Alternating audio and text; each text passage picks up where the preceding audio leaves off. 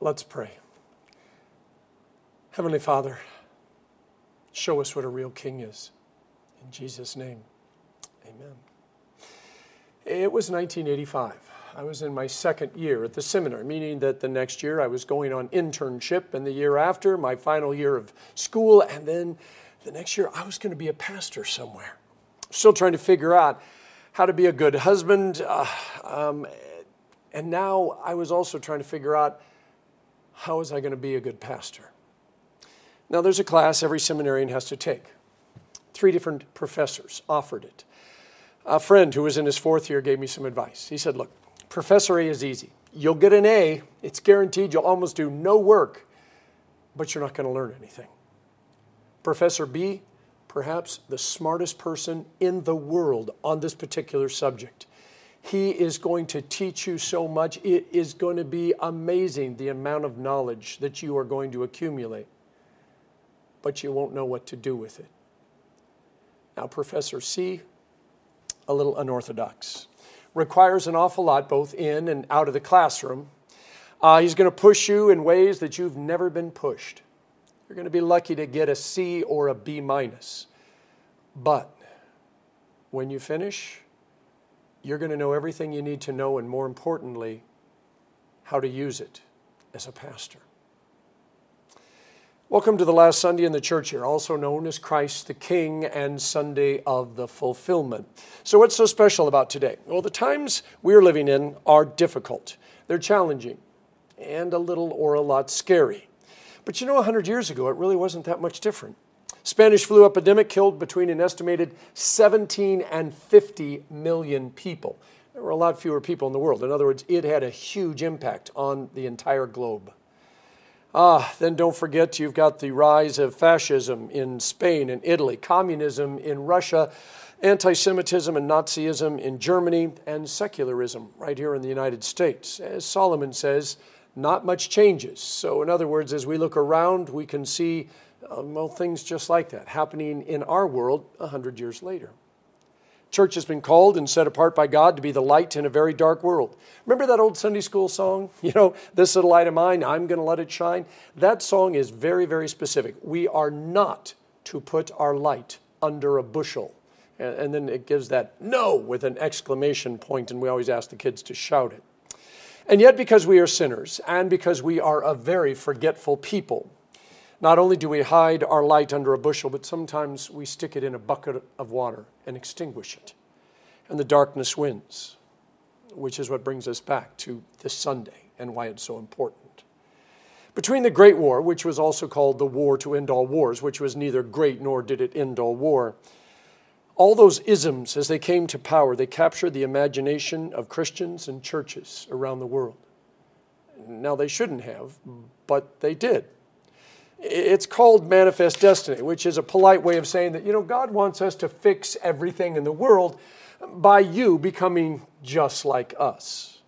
And so some of the church helped break things instead of fix things. And for a while, the church helped the world get a lot darker. Now, Pope Pius XI wanted to refocus everybody back onto Jesus, and so he created Christ the King Sunday in 1925. The second to the final paragraph of his encyclical read with these words Nations will be reminded by the annual celebration of this feast that not only private individuals, but also rulers and princes are bound to give public honor and obedience to Christ. It will call to their minds the thought of the Last Judgment, wherein Christ, who has been cast out of public life, despised, neglected, and ignored, will most severely avenge these insults for his kingly dignity demands that the state should take account of the commandments of God and of Christian principles, both in making laws and in administering justice, and also in providing for the young a sound moral education. Some Lutherans adopted Christ the King Sunday in 1970s. Others kept it as the last Sunday of the church year, and still others as the Sunday of the fulfillment. But no matter which title you call it by, this is the last Sunday of the official church year. It's a New Year's Eve of sorts. Now, Christ the King Sunday presents a post crucifixion post resurrection Jesus, glowing as our sun that rises with healing in his wings. Jesus stands against any and all who defy God's message of hope and eternity, yet just like the Pope was talking about. The nail holes still in his hands and feet, the gash where the soldier thrust his spear, they scream, Nothing can separate us from the love of God that we have in Christ Jesus. Because death and hell can't touch him anymore if we are in Christ, then death and hell can't touch us anymore. So, nanny, nanny, boo boo, Satan. Well, Jesus declares without apology that he is the life that is the light for all people. Now, for those of you who are old enough to remember, I'm pretty sure Clint Eastwood got both the look and the catchphrase for Dirty Harry from Jesus as he stands toe to toe against Satan and says, Go ahead, make my day. And the fear in Satan's eyes says it all. I mean, who wouldn't want a Jesus like that? But that is not the Jesus that we're given in our gospel lesson today. I, mean, considering this is Christ the King Sunday, that's a very different gospel lesson. This Jesus is beaten, bloody, dying, and wearing a crown of thorn. He wobbles uh, up before Pontius Pilate, who says, Are you really a king? And Jesus responds, Well, you say that I am. And Pilate finishes with, What's truth? I know Pilate took this meeting seriously. His wife told him that she was warned in a dream not to have anything to do with this man. Uh, Pilate tried to send him off to King Herod, but when Jesus refused to do some parlor tricks, uh, Herod sent him right back to Pilate. Pilate tells the Jews, You know, I find nothing worthy of my time here. And the Jewish leaders say, Well, then we're going to tattle to Caesar on you and make your life miserable. Pilate then offers to let either Jesus or Barabbas go free, sure that the crowds are going to choose Jesus. Problem solved, except for a reason he can't understand. The crowd demands that Barabbas be set free. What Pilate does not know is that this moment isn't about him. Now, his name is going to be passed down uh, through history every time we confess our faith and say, suffered under Pontius Pilate. But it's still not about him. He just happens to be the one on the earthly throne at the moment that the fullness of time comes to be. A real king, by the way, a real king, do you know what that means? I mean, have you ever wanted a king? Have you ever said, what we really need is a king? I mean, most of us have wanted to be king or queen, but that's a whole different matter. Do you even know what a king is? I, mean, when Queen Elizabeth died, we were, we were told about all things kingly and queenly. The closest, though, most of us ever get to a king is a king sized bed. Or, or maybe we go over and stay at the King Kamehameha Hotel in Kona. Or we visit Bishop Museum and see all the elites' feathered capes. A real king is not a president, not a prime minister, not a czar, not even a crown prince. In fact, a king is not to be trifled with, for they wield ultimate power. They answer to no one except themselves. In 1 Samuel 8, the people known as God's people notice that their priest is getting old. In fact, so old that they know that it won't be long before he goes to be with God. They demand instead of another priest that Samuel anoint a king in his place. And that way they can be like all the other nations who have kings. Now, they had very specific qualifications. They said their king had to be tall, handsome, and strong. Now, Samuel told the people who were known as God's people that God was already their king. His name's God, and he is the King of kings and the Lord of lords. They don't need a king. But the people who were known as God's people said, well, you know, that's nice. But we still want a king. And by the way, that tall, handsome, strong man over there, he should make the perfect king. So you better call Saul. And God told Samuel he wasn't going to change their mind. So Samuel showed up and he called Saul as their king. And the people who were formerly known as God's people became known as Saul's people and it didn't work out so well. Now, Dr. Martin Luther King Jr., who was named after his father, who was, well, actually named after Martin Luther by his own choosing, in a paper he wrote called The Misuse of Prayer, he said, Never make prayer a substitute for work and intelligence. Never make prayer for anything which, if done, would injure somebody else. Don't pray for God to help you get even with your enemy. And never pray for God to change the fixed laws of the universe. Back to our text. Jesus has made himself a nuisance to the religious leaders. They want him gone so that they can get back to business and religion as usual. When their grand plans to discredit him fail, they decide he has to die. These all too holy and righteous people, therefore, accuse Jesus of the following going to weddings and getting frustrated with his mom and then turning water into wine, showing up at church and using a whip to clear the temple of vendors and bankers who were swindling the poor and the needy, subverting the true church by talking to a Pharisee in the middle of the night about baptism, new life, and grace meeting a foreign woman in the noonday sun at the well and telling her she could be saved and that you don't have to worship God at the temple. He forgave a woman caught in adultery. He cried when his friend Lazarus died and then raised him from the dead.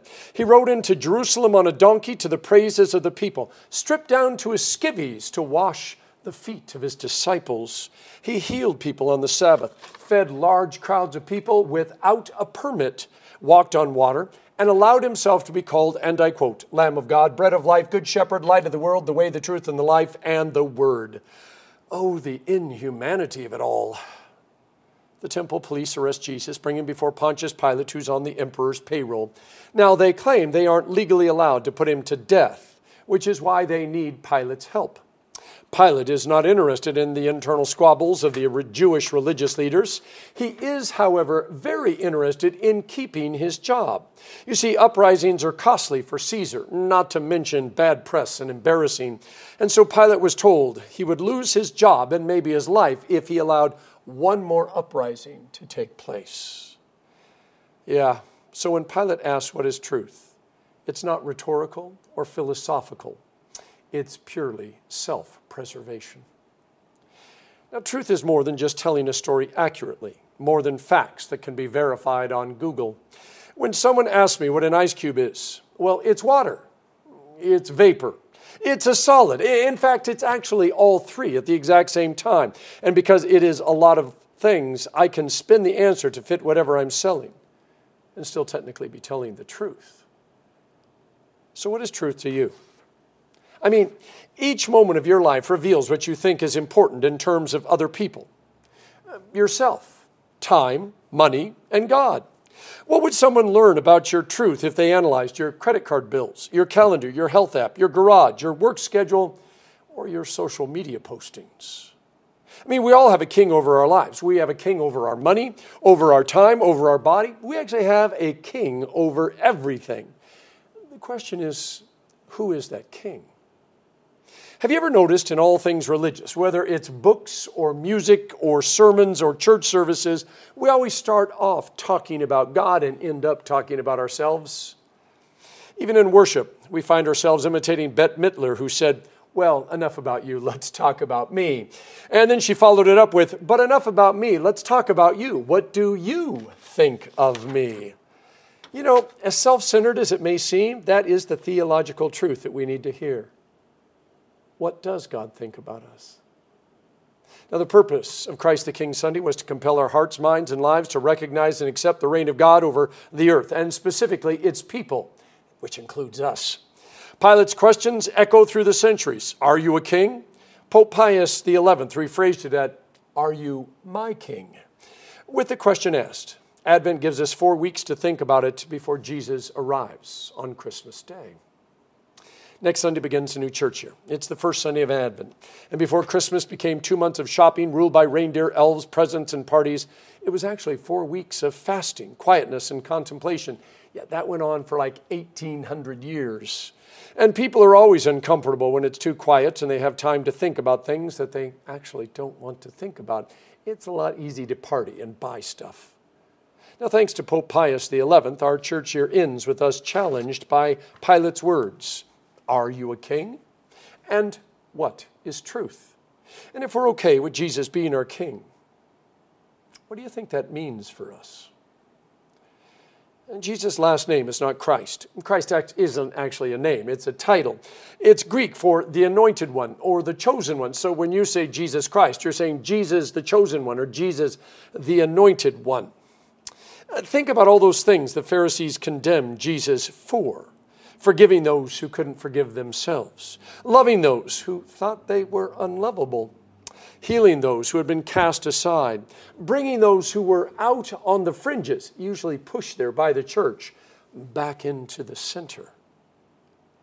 Madeleine L'Engle said, We do not draw people to Christ by loudly discrediting what they believe, by telling them how wrong they are and how right we are, but by showing them a light that is so lovely that they want with all their hearts to note the source of it. In Jesus' case, being what humans were designed by, by God to be is what got him killed. But I cannot help think what an amazing epitaph it would have been on his tomb. Killed because he loved the world far more than it loved itself. Except long before the stonemason showed up to carve anything on the tomb, Jesus wasn't dead anymore. It's called a resurrection. Yeah, it, we celebrated on Easter. He walked out of the grave alive and well and told the world and Satan and anyone else who would listen this is truth. I wish it was as easy as Pope Pius XI thought it was. Just give the last Sunday of the church year a new title, and everyone will stop and refocus on Jesus instead of themselves, and life will be great again. You know what this Sunday offers us, though, is this opportunity to ask a few questions. Watch an amazing holy story play out in front of us. Discover where we fit into all of this, and more importantly, know what our truth can be in Jesus. It's not enough to just know that there is a king, you know, have all this head knowledge, which makes us very smart, but we don't know what to do with it. It's not enough for us to, well, just get through life without learning anything. Jesus calls you deeper into a relationship with the one who created you, who saved you, and who walks with you every single step of your life. Jesus, by the world standards, is unorthodox, requires a lot, both in and out of the classroom, pushes us in ways we've never been pushed Oh, and by the way, we're not going to get a B minus or a C. We're going to fail the course. There is no doubt about it because none of us can be perfect as our God in heaven is imperfect. But when we are done, we will know what this life is all about. And more importantly, how to live it. Because all we got to do is follow our King. And if we are willing to let Him be King over our life, He promises that everything will work out because He values us more than a church or a people that just looks perfect on the outside but is rotten on the inside. And he says he will take our brokenness and failures unto himself, and that he will bring from them new life and endless possibilities, because that is what a king, a real king, does for his people. In the name of the Father, and of the Son, and of the Holy Spirit. Amen. Would you confess our faith now with me in the words of the Nicene Creed? I believe in one God, the Father Almighty, maker of heaven and earth, and of all things visible and invisible, and in one Lord Jesus Christ, the only begotten Son of God, begotten of his Father before all worlds, God of God, light of light, very God of very God, begotten, not made, being of one substance with the Father, by whom all things were made who for us and for our salvation came down from heaven and was incarnate by the Holy Spirit of the Virgin Mary and was made man, and was crucified also for us under Pontius Pilate. He suffered and was buried. And the third day he rose again, according to the Scriptures, and ascended into heaven, and sits at the right hand of the Father. And he will come again with glory to judge both the living and the dead, whose kingdom will have no end. And I believe in the Holy Spirit the Lord and giver of life, who proceeds from the Father and the Son, who with the Father and the Son together is worshiped and glorified, who spoke by the prophets. And I believe in one holy Christian and apostolic church. I acknowledge one baptism for the remission of sins, and I look for the resurrection of the dead and the life of the world to come. Amen.